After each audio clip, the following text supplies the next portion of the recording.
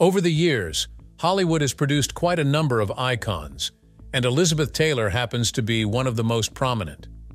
Outside the unforgettable roles that she has played in several productions, she has also appealed to many because of her beauty.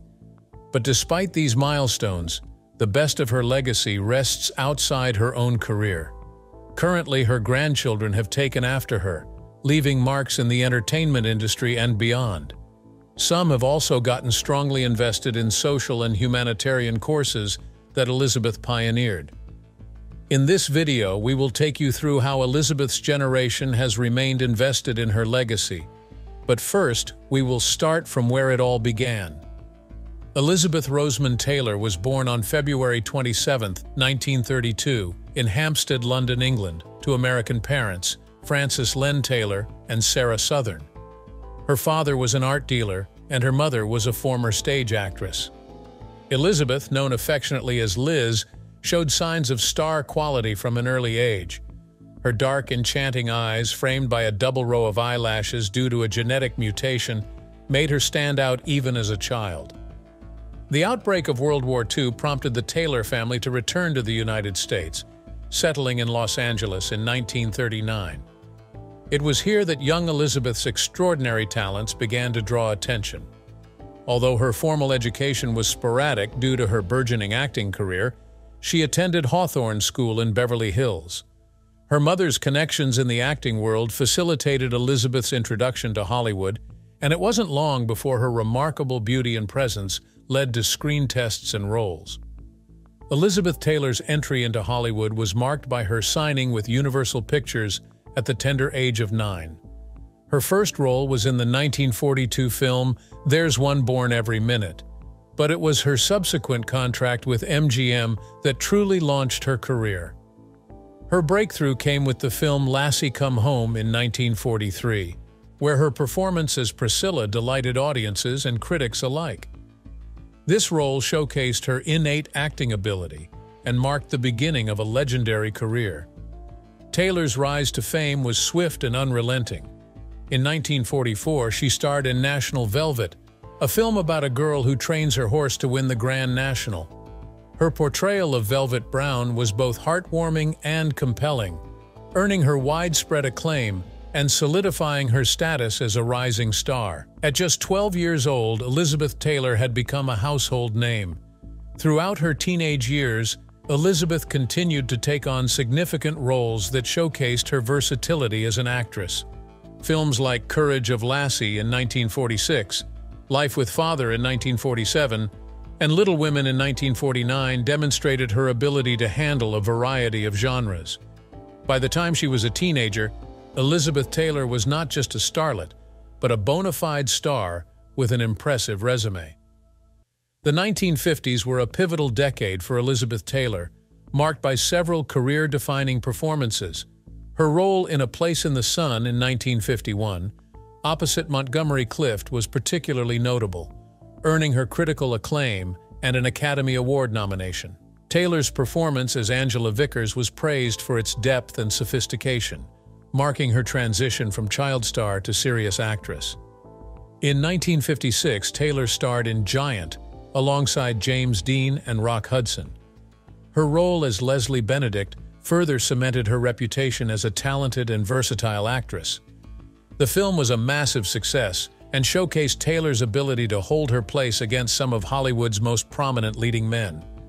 Elizabeth Taylor's career continued to soar with her portrayal of Maggie Pollitt in Cat on a Hot Tin Roof in 1958 and her performance in Suddenly Last Summer in 1959 which earned her another Academy Award nomination. However, it was her role in Butterfield 8 in 1960 that won her her first Academy Award for Best Actress. Her portrayal of Gloria Wandrous was both powerful and poignant, reflecting her immense talent and emotional depth. Outside these roles, she has had so many other fine moments on screen. One of the most defining moments of Taylor's career was her role as Cleopatra in the 1963 film of the same name. The production was notorious for its extravagant budget and tumultuous filming process, but Taylor's performance was mesmerizing. Her on-screen chemistry with Richard Burton, who played Mark Antony, captivated audiences and led to a highly publicized off-screen romance. The couple's relationship was as legendary as it was tumultuous, and their on-again, off-again marriage captivated the public for years. Despite the controversies, Taylor and Burton's partnership resulted in several successful films, including Who's Afraid of Virginia Woolf? In 1966, which earned Taylor her second Academy Award for Best Actress. Elizabeth Taylor continued to work in film and television throughout the 1970s and 1980s, although her focus increasingly shifted towards her philanthropic efforts. She became a passionate advocate for AIDS research and awareness, founding the Elizabeth Taylor AIDS Foundation in 1991. Her tireless work in this area earned her numerous accolades and cemented her legacy as a humanitarian. Throughout her life, Elizabeth Taylor faced numerous personal challenges, including health issues, tumultuous relationships, and struggles with addiction. However, her resilience and determination to overcome these obstacles only added to her legendary status. With regard to personal life, nothing drew more attention than her marital history. She was married eight times to seven different men, with each marriage attracting significant media attention. Elizabeth Taylor, the legendary actress known for her stunning beauty and remarkable talent, also garnered significant attention for her complex and often tumultuous marital history. Over her lifetime, Taylor married eight times to seven different men, each relationship marked by its own set of unique stories and dramas. Let's take an in-depth look at Elizabeth Taylor's marriages and the children she had with her husbands. Elizabeth Taylor's first marriage was to Nicky Hilton Jr., heir to the Hilton Hotel fortune. They married on May 6, 1950, when Taylor was just 18 years old. The marriage was heavily publicized and depicted as a fairy tale union. However, the reality was far from the public perception. Hilton's abusive behavior and heavy drinking quickly soured the relationship. Taylor filed for divorce after only eight months, citing mental cruelty. She also highlighted that she was too young to be married then and had to give herself more time before getting married. They had no children together at the time the couple parted ways, but despite this first sour experience with marriage, Elizabeth wasn't willing to give in to her bad fortune. She would soon take another shot at love. The second husband was British actor Michael Wilding. They married on February 21, 1952. At 20, Taylor was almost 20 years younger than Wilding, who was 39. Despite the age difference, their marriage was initially happy, and they had two sons together, Michael Howard Wilding, who was born in 1953, and Christopher Edward Wilding, born in 1955. However, Taylor's rising fame and Wilding's career decline strained their relationship. Sadly, their marriage couldn't weather the storm, and they divorced in 1957. Taylor's third marriage was to producer Mike Todd, whom she married on February 2, 1957. This marriage was notably passionate and intense, they had one daughter, Elizabeth Frances Todd, born 1957. But unlike other marriages that failed due to the couple's differences, the story behind this one was really sad. Tragically, Mike Todd died in a plane crash on March 22, 1958, after just over a year of marriage. His death deeply affected Taylor, and she often described him as one of the loves of her life. Maybe this marriage would have lasted longer than others, but this is something we never got the opportunity to witness. So, once again, Elizabeth is alone and continues to seek the joy of companionship, which leads her into another marriage. However, the next marriage didn't enjoy the support others had from the public. In fact, a lot of people saw it as a betrayal of the memory of Elizabeth's late husband. Elizabeth Taylor's fourth marriage was to singer Eddie Fisher, who was her late husband's best friend and married to actress Debbie Reynolds at the time. The affair and subsequent marriage to Fisher on May 12, 1959, caused a major scandal. They did not have any children together. Their marriage faced many challenges, including public backlash, and Fisher struggled to support Taylor through her grief over Todd's death. Taylor's infatuation with her next co-star would eventually lead to their divorce in 1964. Still not giving up, Elizabeth went on to get involved in her next marriage, which later had an on-and-off situation. Taylor's fifth and sixth marriages were to the same man, Welsh actor Richard Burton. They first married on March 15, 1964. The couple met while filming Cleopatra and their passionate affair quickly became one of the most famous romances of the 20th century. Their relationship was intense, characterized by both deep love and frequent fights. They adopted a daughter, Maria Burton, who was born in 1961. Despite their undeniable chemistry, their marriage was plagued by alcohol abuse and infidelity. They divorced in 1974 but remarried on October 10, 1975. The reconciliation was short-lived, and they divorced again in 1976. The marriage was just not destined to hold. Moving on to Taylor's seventh marriage, it was to John Warner, a Republican politician who later became a U.S. Senator. They married on December 4, 1976. Taylor tried to adapt to the life of a politician's wife, but the transition was difficult. Feeling unfulfilled and isolated, she turned to alcohol and prescription drugs. They had no children together and they divorced on November 7, 1982. Elizabeth Taylor's eighth and final marriage was to Larry Fortensky, a construction worker she met during her stay at the Betty Ford Clinic. They married on October 6, 1991, at Michael Jackson's Neverland Ranch in a highly publicized ceremony. Despite their different backgrounds, they shared a bond over their recovery struggles. However, the pressures of media scrutiny and lifestyle differences led to their divorce in 1996. They also ended up having no children together, and Elizabeth finally decided that she was done with marriage. In all these ups and downs, there was a silver lining to everything. Elizabeth's children, in whom she found her solace. Elizabeth Taylor had four children throughout her marriages. Two sons with Michael Wilding, a daughter with Mike Todd, and an adopted daughter with Richard Burton. Her children are Michael Howard Wilding, Christopher Edward Wilding, Elizabeth Frances Todd, and Maria Burton. Despite her turbulent personal life, Taylor remained a devoted mother, and her children often described her as loving and supportive. Elizabeth Taylor's marital history is a testament to her enduring quest for love and companionship. Each marriage brought its own set of challenges and joys, shaping her into the resilient and compassionate woman she was known to be. Her life, marked by both cinematic triumphs and personal tribulations, continues to captivate and inspire. In her later years, Elizabeth Taylor remained a beloved figure in Hollywood and beyond.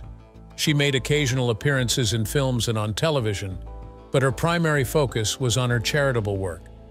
Elizabeth Taylor passed away on March 23, 2011, at the age of 79. Her death marked the end of an era, but her legacy as one of Hollywood's greatest stars endures. Elizabeth Taylor's life and career were nothing short of extraordinary. From her early days as a child star to her status as a Hollywood legend, Taylor's journey was marked by immense talent, resilience, and an unwavering commitment to her craft.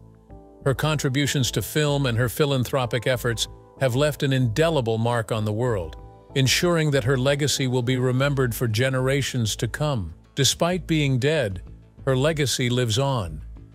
When we take a look at her family, we get to see her influence on the career choices of even her grandchildren, who have decided to honor the memories of their grandmother. To the world, we saw an icon due to her performances on television. But to her children and grandchildren, Elizabeth was just a mother and grandmother, and a good one at that. Elizabeth Taylor, a Hollywood icon and humanitarian, left behind a legacy not only in film, but also in her philanthropic efforts, particularly her advocacy for HIV-AIDS awareness. Her grandchildren have taken up the mantle in various ways, contributing to the continuation of her remarkable legacy. Here's a closer look at how Taylor's grandchildren have carried on her legacy, highlighting those in entertainment and those dedicated to her HIV awareness programs. Elizabeth Taylor became deeply invested in HIV-AIDS awareness due to her close friendship with actor Rock Hudson, one of the first major Hollywood figures to die from an AIDS-related illness in 1985. Hudson's battle with the disease and subsequent death brought the crisis into the public eye and profoundly affected Taylor. Witnessing the stigma, misinformation, and lack of support surrounding HIV-AIDS, she felt compelled to take action. Taylor leveraged her fame and resources to advocate for those suffering from the disease. She co-founded the American Foundation for AIDS Research in 1985 and established the Elizabeth Taylor AIDS Foundation in 1991. Through these organizations, Taylor raised millions of dollars for research, treatment, and education efforts. Her tireless work helped to destigmatize HIV-AIDS and brought much-needed attention and resources to the cause. Taylor's commitment to HIV-AIDS advocacy remains a significant part of her enduring legacy. Her grandchildren would not let her work be in vain. They have taken up the challenge and continued in that line. Naomi DeLuce Wilding, one of Elizabeth Taylor's granddaughters from her son Michael Wilding Jr., has been actively involved in carrying on her grandmother's philanthropic legacy. Naomi is a prominent advocate for HIV-AIDS awareness and serves on the board of the Elizabeth Taylor AIDS Foundation, ETF. Her work with the foundation has been instrumental in raising funds and awareness for HIV-AIDS research and support. Naomi's commitment to this cause reflects her grandmother's passion for humanitarian work and dedication to making a difference in the lives of those affected by the disease. Leyla Wilding, another granddaughter from Michael Wilding Jr., has also been deeply involved with the Elizabeth Taylor AIDS Foundation. Leyla serves as an ambassador for ETAF and works closely with the organization to promote awareness and education about HIV-AIDS. Her efforts in public speaking and advocacy helps to keep Elizabeth Taylor's mission alive, ensuring that her grandmother's work continues to impact communities around the world. Leyla's dedication to this cause demonstrates a profound respect for her grandmother's legacy and a commitment to social responsibility. What about Quinn Tivey, the son of Liza Todd and one of Elizabeth Taylor's grandsons? He has followed in his grandmother's footsteps in both the arts and philanthropy. Quinn is a co-trustee of the Elizabeth Taylor Trust and a co-chair of the Elizabeth Taylor AIDS Foundation. His involvement with ETAF includes overseeing the foundation's initiatives, fundraising efforts, and global outreach programs. Additionally, Quinn has pursued a career in the arts, working as a filmmaker and artist. His dual dedication to both his creative passions and his grandmother's humanitarian legacy illustrates the multifaceted impact of Elizabeth Taylor's influence on her family. Moving on to Tarquin Wilding, another of Michael Wilding Jr.'s sons, he has pursued a career in entertainment, much like his iconic grandmother. Tarquin is an actor and filmmaker, having worked on various projects in the industry. His involvement in the arts showcases the continuation of the Taylor family's connection to Hollywood and the entertainment world. Tarquin's work reflects the artistic talent that Elizabeth Taylor was renowned for, and his contributions to the field helped to keep the family's legacy alive in the realm of cinema and storytelling. Rhys Tivey, another grandson from Liza Todd, is a talented musician and trumpeter. He has performed at various events and venues, showcasing his musical abilities. While Rhys has not been as prominently involved in the entertainment industry as some of his cousins, his artistic pursuits still echo the creative spirit of his grandmother. Additionally, Rhys has been involved with the Elizabeth Taylor AIDS Foundation, supporting its mission and participating in fundraising efforts. His contributions to both the arts and philanthropy highlight the diverse ways in which Elizabeth Taylor's legacy continues through her grandchildren. There is also Elizabeth Carson, the daughter of Christopher Wilding, who has also made her mark in the world. While she has not pursued a career in entertainment or been as publicly involved in the Elizabeth Taylor AIDS Foundation, her presence at various family events and her support for her cousin's efforts indicate a shared commitment to upholding the family's legacy. Elizabeth Carson's involvement, though more private, underscores the importance of family unity in continuing the philanthropic and artistic traditions established by Elizabeth Taylor. Elizabeth Taylor's grandchildren have embraced various aspects of her legacy, from the arts to philanthropy, Naomi DeLuce Wilding and Leyla Wilding have been especially active in HIV-AIDS awareness, continuing the vital work their grandmother started with the Elizabeth Taylor AIDS Foundation. Quinn Tivey and Tarquin Wilding have pursued careers in entertainment, showcasing their artistic talents and maintaining the family's connection to Hollywood.